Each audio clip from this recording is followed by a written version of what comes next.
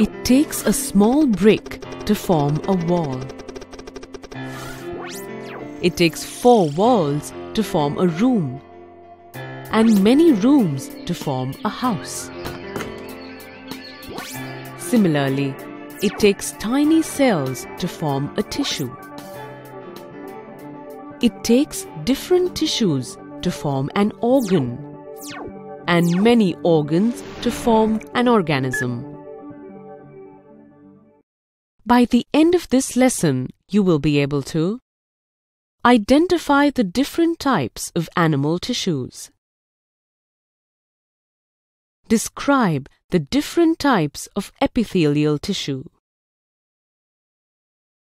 Describe the different types of connective tissue. Describe the different types of muscular tissue.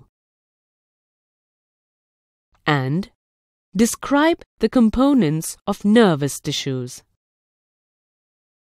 Animals move around in search of food, shelter, and mates. They consume more energy compared to plants. So, unlike plants, most animal tissues are living tissues. The animal body is made up of different types of tissues. Epithelial tissue, connective tissue, muscular tissue, and nervous tissue. Let's look at each tissue in detail. Epithelial tissues form a protective layer for organs. They act as a barrier to keep the different body systems separate. Epithelial tissues are of different types depending on their shape and function. Let's first look at squamous epithelium. Squamous epithelium has flat and thin cells. These cells group together and do not have intercellular spaces between them.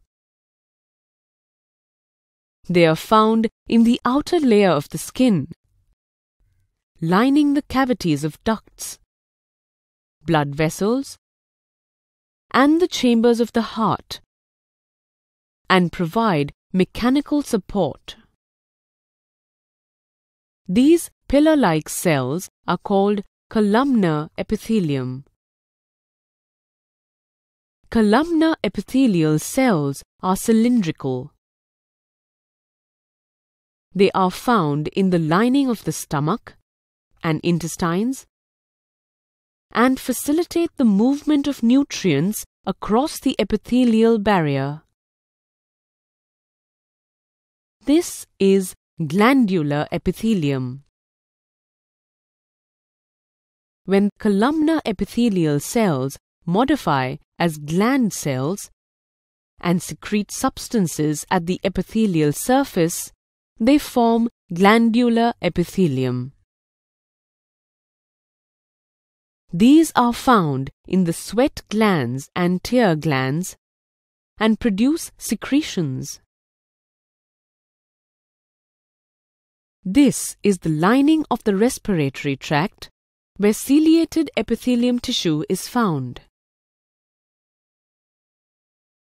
These tissues are actually columnar cells with hair-like projections called cilia.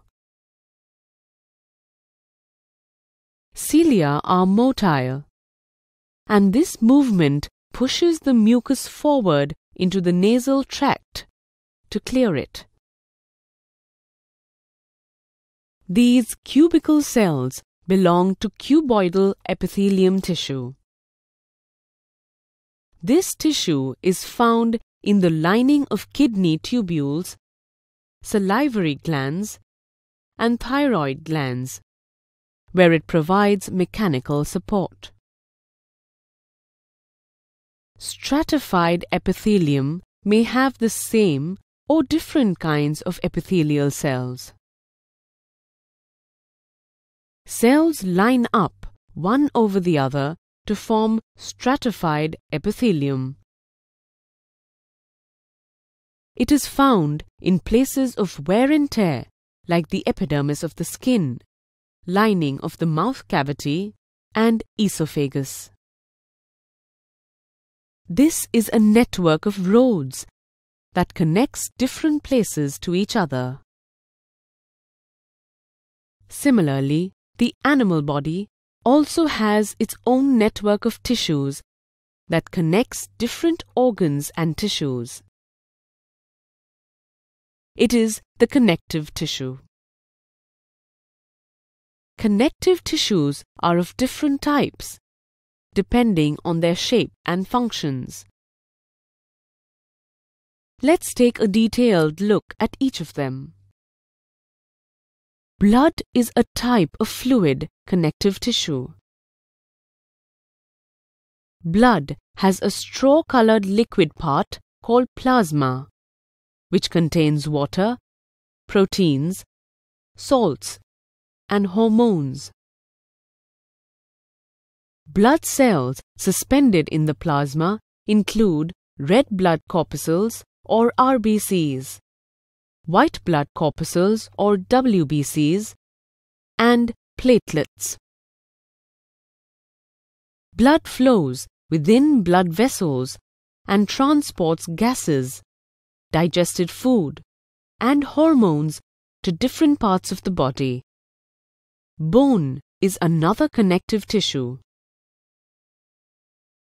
Bone cells are embedded in a hard matrix composed of calcium and phosphorus compounds. It is a hard porous tissue that anchors the muscles and protects the internal organs. Take a close look at these tissues that pack and bind various organs. These are fibrous connective tissue.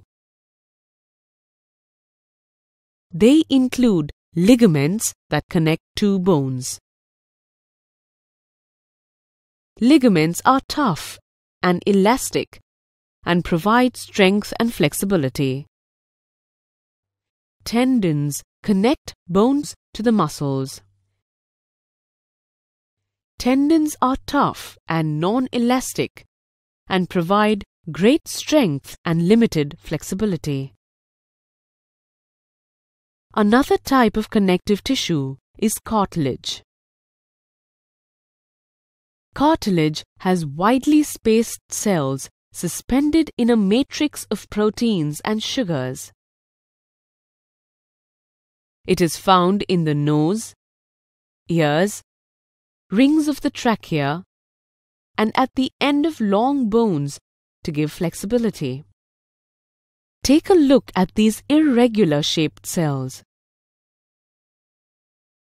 They are areolar connective tissue that fills the space inside organs and supports them. Such tissues are found between the skin and muscles and around blood vessels and nerves. Here's a look at the adipose connective tissue. Cells of this tissue are filled with fat globules. It is found below the skin and around internal organs like kidneys and acts as an insulator. Animals can move because of the elasticity and flexibility of muscular tissues. Muscular tissues have elongated cells called muscle fibers. Muscular tissues are of three kinds striated muscles, unstriated muscles, and cardiac muscles.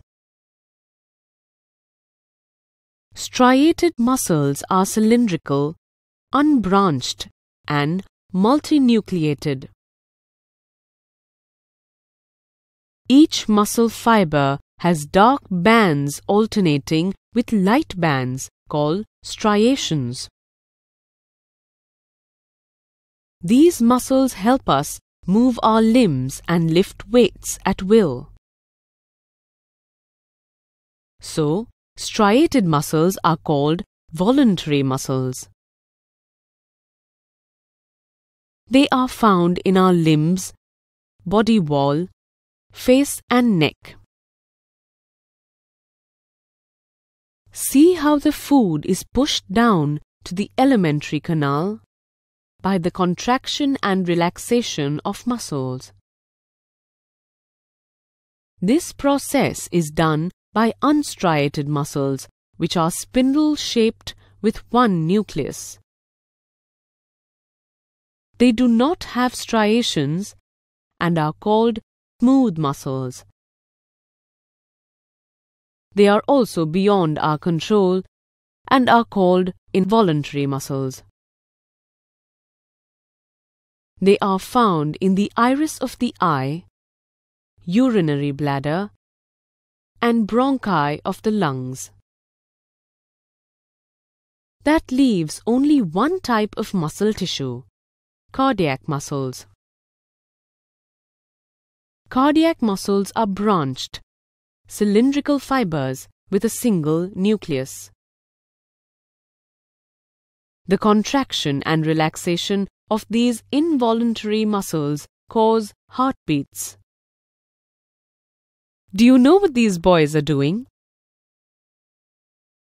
They are trying to converse over a telephone that they have made. The function of the wire is to transmit information.